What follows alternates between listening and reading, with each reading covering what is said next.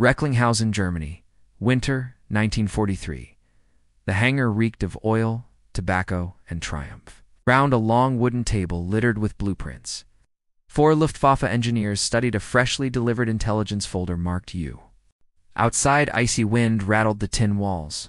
Inside, the warmth of confidence filled the air. For German engineers, engines were sacred. Perfection wasn't manufactured, it was crafted. Every Daimler-Benz DB605 carried the mark of human touch. Bolts were filed by hand, tolerances judged by ear, balance measured by fingertips.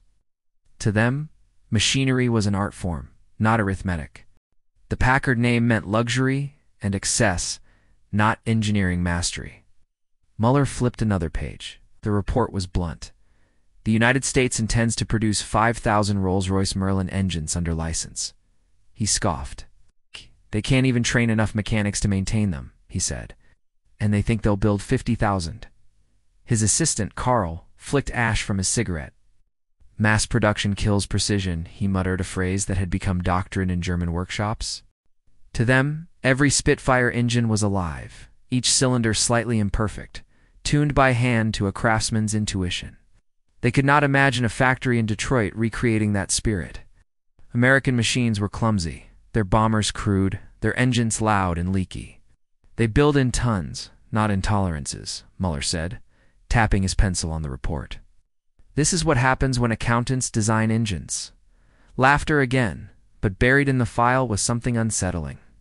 The Americans had not simply copied the blueprints, they had redrawn them entirely, converting every measurement into their own system.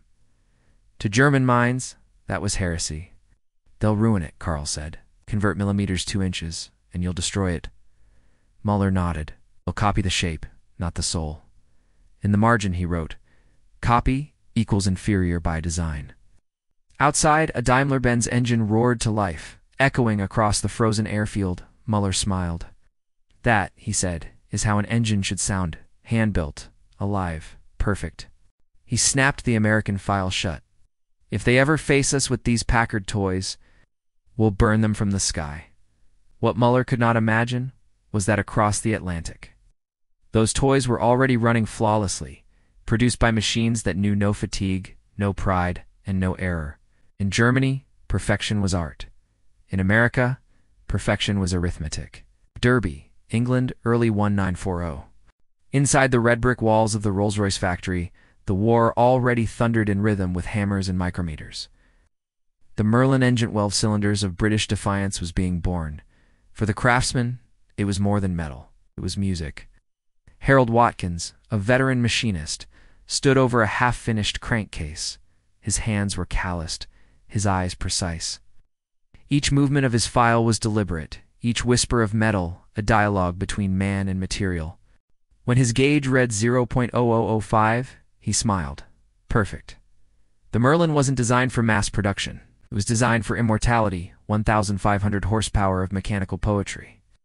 Each engine consumed more than a thousand hours of labor, every one slightly unique. Rolls-Royce didn't fight imperfection. They tuned it, as a violinist would his strings. And when the first Spitfire took flight with a Merlin beneath its cowl, the sound became the anthem of survival. Pilots said they could feel the engine breathe with them, as if it had a soul. But craftsmanship had its limits.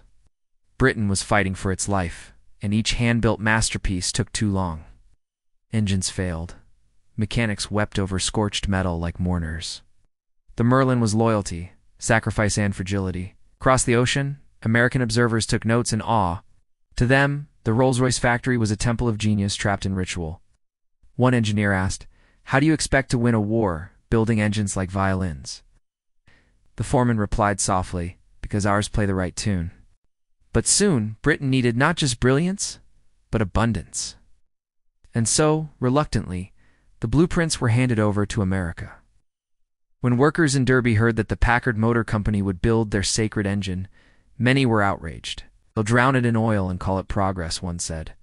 But war demanded humility. The sky could not wait for pride. Detroit, Michigan, autumn 1942, over the Detroit River, the night sky glowed orange not from bombs, but from furnaces. Inside Packard's vast brick plant, The rhythm of industry never stopped. Presses thundered, wrenches clanged, engines screamed on test stands.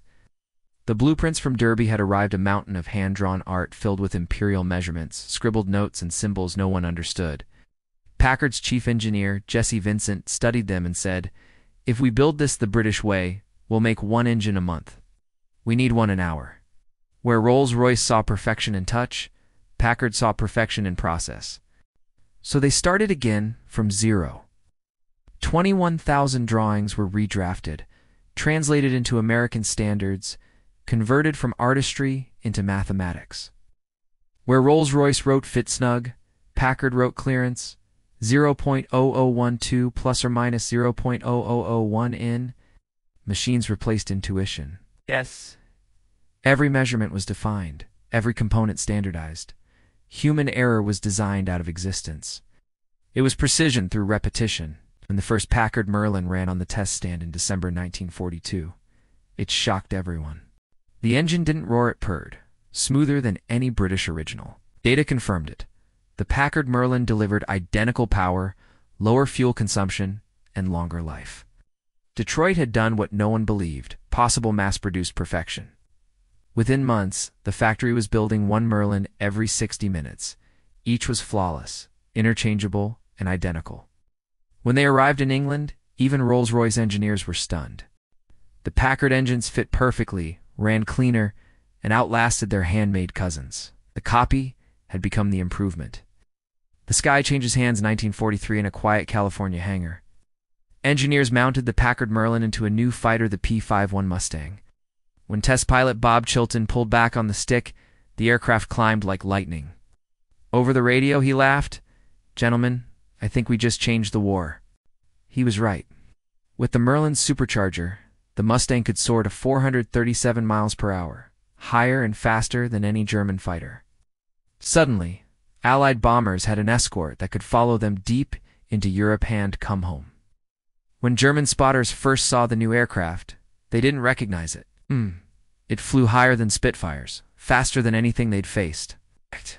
One Luftwaffe pilot later said, they came out of the sun.